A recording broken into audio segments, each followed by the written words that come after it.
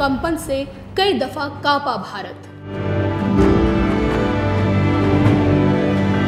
अब क्या भारत में मचेगी तुर्की जैसी तबाही?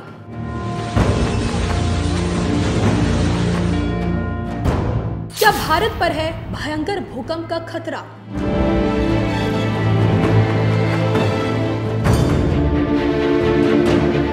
अब कैसी तबाही आनी बाकी है?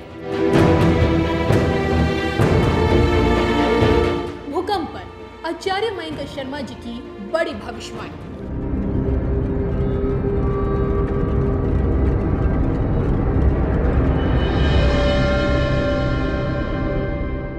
नमस्कार मैं हूँ आपके साथ कविता राणा मेरे साथ आचार्य मेंग जी। स्वागत है सर। धन्यवाद कविता जी सभी दर्शकों को सादर नमस्कार।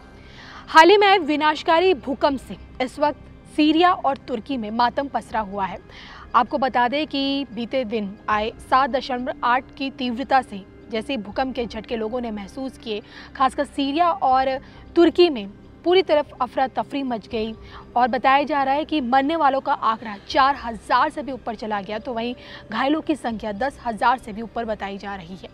ऐसे में सवाल ये उठता है कि नए साल की शुरुआत से लेके बैक टू बैक इस तरह भूकंप का आना भूकंप के तेज़ झटकों का महसूस होना जो धरती की जो कंपन महसूस की जा रही है इसके पीछे का ज्योतिष एनालिसिस क्या कहता है? आखिर क्यों बार बार भूकंप के झटके महसूस किए जा रहे हैं? अब क्या कोई बड़ी विपदा आने को तैयार है? आज यही हम जानेंगे मयंक जी से। बताइए मयंक जी। देखिए इस समय जो ग्रहों की स्थिति है हम्म। वो उतनी फेवरेबल नहीं है। क्योंकि अगर आपको याद हो पिछले वर्ष हमने अंत में कुछ वीडियोस बनाए थे जी। कि नए साल पे कुछ ग्रहों का राशि परिवर्तन होगा। क्या उससे कुछ सामाजिक बदलाव आ सकता है या हम्म। कोई दुर्घटना या कोई अशुभ योग का निर्माण हो रहा है या कोई बड़ी विपत्ति तो नहीं आएगी? तो हमने उस समय भी वीडियो बनाकर कहा था कि शनि जब राशि परिवर्तन करेंगे यानी कि 17 जनवरी के बाद तो ये जो समय रहेगा ये उतना बेहतर नहीं रहेगा क्योंकि शनि की जो दृष्टि पड़ रही है वो नीच दृष्टि पड़ रही है मेष राशि पर। और जब जब शनि की नीच दृष्टि जिस भाव पर पड़ती है तो उस भाव का नुकसान करता है। वहाँ पर राहु बैठे हैं। हम्म, और शनि राहु की युति मेष में हो या कुंभ राशि में हो सिंह राशि में हो वृश्चिक राशि में हो तो ये ज़्यादा तबाही मचाती है। या शनि राहु को इन राशियों पे देखे तो ये बड़ा नुकसान होता है। उस समय हमने कहा था कि जब ऐसी परिस्थिति बनती है तो अग्निकांड भूकंप इत्यादि एक लंबे समय तक रहते हैं। जब जब शनि पे राहु की दृष्टि पड़ेगी शनि सूर्य की युति होएगी। अब देखिए इस समय शनि सूर्य की युति भी है। इस समय ये आप देख रहे हैं ग्रीस में जो ये सीरिया में जो ये सीरिया और तुर्की में जो सबसे ज़्यादा तबाही वही मची है। तो कहीं ना कहीं इन ग्रहों की हम्म। युति से ना सिर्फ़ विश्व के उन हिस्सों में बल्कि कुछ और हिस्सों में भी इस तरह की आशंकाएँ इस तरह की घटनाएँ या बम विस्फोट इत्यादि या अग्निकांड रेल दुर्घटना वायु दुर्घटना इस तरह की चीज़ें विस्फोटक चीज़ होने की आशंका बनी रहती है। जब जब सूर्य शनि सूर्य राहु की युति हो शनि राहु को देखे सूर्य। राहु को देखे तो उस तरह की स्थितियों को बल मिलता है। राहु भी मेष राशि में है तो इसलिए समस्या ये ज़्यादा है। हम्म, तो हमने ये कहा था कि जो 2023 का जो वर्ष रहेगा ये थोड़ा सावधानी पूर्वक चलाने वाला है। और उसमें भी बताया था कि फरवरी से लेके और सितंबर तक का समय यानी फरवरी से सितंबर आप हमारे पुराने वीडियो भी उठा के देख लीजिए उसमें भी बोला गया है कि फरवरी से सितंबर तक का समय जो रहेगा वो इतना शुभ नहीं है। और शनि पर जो राहु की दृष्टि है वो एक्यूरेसी देखें तो 30 अक्टूबर तक है। हम्म, लेकिन जो इनकी क्लोजनेस है वो सितंबर तक ज़्यादा रहेगी। 15 सितंबर के बाद जो है स्थिति में बदलाव आएगा। लेकिन इन बिटवीन जो ये समय रहेगा ये बड़ा इस तरह की और भी घटनाएँ आपको विश्व के कई हिस्सों में देखने को मिलेंगी। या उतार चढ़ाव बना रहेगा। America Britain Italy France European country हमने पिछले वीडियो में बताया था इन लोगों के लिए समय संकट वाला रहेगा परेशानियों में इजाफा हो सकता है। जी।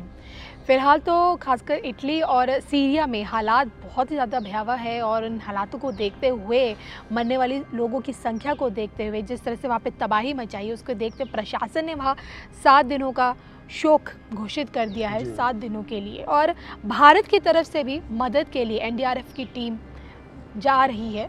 और मैं जी मैं आपसे यही जानना चाहूँगी कि संकट के इस घड़ी में खासकर सीरिया और तुर्की का आने वाला भविष्य कैसा रहेगा? कैसे उभर पाएगा? देखिए जब भी किसी प्रदेश में किसी देश में इस तरह की हम्म। घटनाएँ घटती हैं तो उससे रिकवरी होने में समय लगता है। जी। अब जो ग्रह स्थिति बन रही है अभी कम से कम इस तरह की और भूकंप आपको वहाँ पर दोबारा फिर देखने को मिल सकते हैं।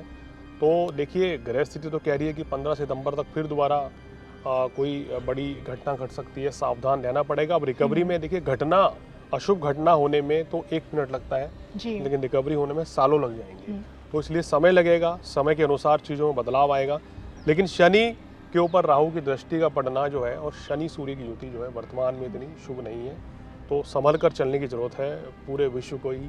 और ये जो युति रहेगी ये कहीं ना कहीं कोई ना कोई बड़ा दुर्घटना भूकंप चक्रवात या कहीं कहीं अकाल पड़ना इस तरह की चीज़ों को भी देखने को आपको मिलेगा आने वाले समय में। गुरु राहु 22 अप्रैल से फिर एक साथ हो रहे हैं मेष राशि हम्म। में। तो गुरु राहु का चांडाल दोष होता है। अब ये तेरह साल में देखिए बृहस्पति राशि परिवर्तन करके एक राशि में बदलते हैं। तो काफ़ी वर्षों के बाद ये योग बन रहा है तो 22 अप्रैल से इस युति में भी परेशानियाँ बढ़ेंगी। तो इसलिए थोड़ा सा तो संभल कर चलना है। इन डिज़ास्टर से या इस तरह की विपरीत परिस्थितियों से? मैं ये देखा जाता है कि जब जब ग्रहण आता है कोई बड़ा ग्रहण आता है जिन परिस्थितियों में आता है जिन ग्रह गोचरों में आता है तो उसका प्रभाव बाद में देखने को मिलता है इस तरह की विनाशकारी घटनाओं के तौर पर। अगर हम बात करें तो 19 के बाद का जो ग्रहण था उसके बाद कोरोना आया। और काफ़ी ज्योतिषों ने इस बात का दावा किया कि 19 का जो सूर्य ग्रहण रहा है 2019 के उसके बाद कोरोना की दस्तक का उसी से कनेक्शन रहा। उस ग्रहण के चलते दो साल तक खासकर पूरी दुनिया को कोरोना झेलना पड़ा। और फिर उसके बाद हाल फ़िलहाल में जो अभी देव दिवाली के मौके पर बैक टू बैक पंद्रह दिनों के अंदर अंदर दो ग्रहण पड़े आपके सूर्य ग्रहण और चंद्र ग्रहण। उस वक्त भी काफ़ी ज्योतिषों ने सोशल मीडिया के प्लेटफॉर्म प्लेटफॉर्म पे ये दावा किया कि भाई अब दो ग्रहण पंद्रह दिनों के अंदर अंदर पड़े हैं तो आगे देखिए भूकंप जैसी स्थिति पड़ेगी। प्राकृतिक आपदाओं का जो कहर है वो मनुष्य जाति पर टूटेगा और देखने को भी मिल रहा है। और अब देखिए ना अब आगे भी 2023 में आगे भी आपका चंद्र ग्रहण और सूर्य ग्रहण पड़ रहा है और जिन शुभ योग में मतलब जिन शुभ या अशुभ परिस्थितियों में जो ये ग्रहण पड़ रहा है इसका असर अब आगे अगर मैं भारत के लिए जानना चाहूँ क्या लगता है भारत को क्या कुदरत का कहर आगे कोई बड़ा कुछ बड़ी विपदा कुछ ऐसी विनाशकारी घटना कुदरत का कहर झेलना पड़ेगा भारत को? देखिए अगर भारत देश की कुंडली की बात करें तो वृषभ लगन और कर्क राशि की हम्म। कुंडली है। शनि जो है चंद्र राशि से अष्टम भाव में चल रहे हैं। जी। तो शनि जब अष्टम भाव में चलते हैं तो रोग बीमारी या दुर्घटना को बढ़ावा देते हैं या जिनकी कुंडली में इस तरह की स्थितियाँ बनती हैं उनको भी इस तरह की विपरीत परिस्थितियों का सामना करना पड़ता है। अब देखिए भारत देश के लिए अगर देखें तो थोड़ी सी चिंता वाली बात है लेकिन इतने बड़ी कोई संकट वाली बात नहीं है जिस तरह की वहाँ आपदाएँ हुई है।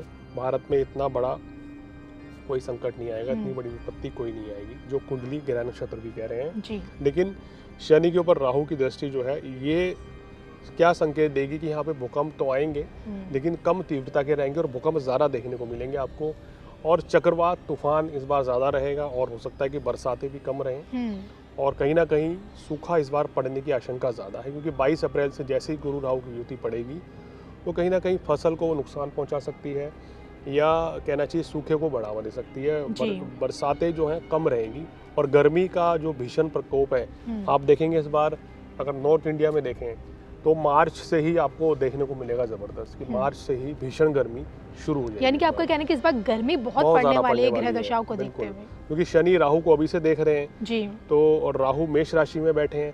शनि हम्म। राहु को मेष राशि में जब देखें तो अग्नि की वृद्धि होती है आग की वृद्धि होती है तूफ़ान तेज हवाएँ चलेंगी। इस तरह की घटनाक्रम आपको देखने को मिलेंगे। अगर बात करें अपने देश भारत की तो प्राकृतिक आपदा के समय जहाँ जहाँ भी जिस जिस देश में इस तरह की आपदाएँ सामने आई हैं घटी हैं तो भारत ने हर स्तर पर हर मौके पर दुनिया की मदद के लिए हाथ बढ़ाया है। चाहे बात हम ये सीरिया तुर्की की बात करें या फिर जब पाकिस्तान में बाढ़ आया तो उस वक्त भी हाथ बढ़ाया। बांग्लादेश की बात करें नेपाल की बात करें चीन को लेकर बात करें तो मैं आपसे यही जानना चाहूँगी कि आगे ऐसी मतलब प्राकृतिक आपदाओं के इस संकट के समय में भारत की कितनी बड़ी भूमिका रहेगी एक मददगार के तौर पर? देखिए भारत देश शुरू से एक ऐसा देश रहा है जिसने हम्म। कि पड़ोसी मुल्कों से राष्ट्रों से या, या जितने भी विश्व के देशों हैं वहाँ मतलब कि संधि के पक्ष में ही बात करी है ना कि विरोध करने की और सहयोग ही हमेशा दिखाया है। तो हमेशा ही करते रहेंगे पूरा सहयोग मिलेगा। हम्म, और इस तरह से भारत को भी भविष्य में पूरा सहयोग मिलता चला जाएगा तो इसलिए इस तरह की कोई भी समस्या या कोई भी दिक्कत नहीं रहेगी।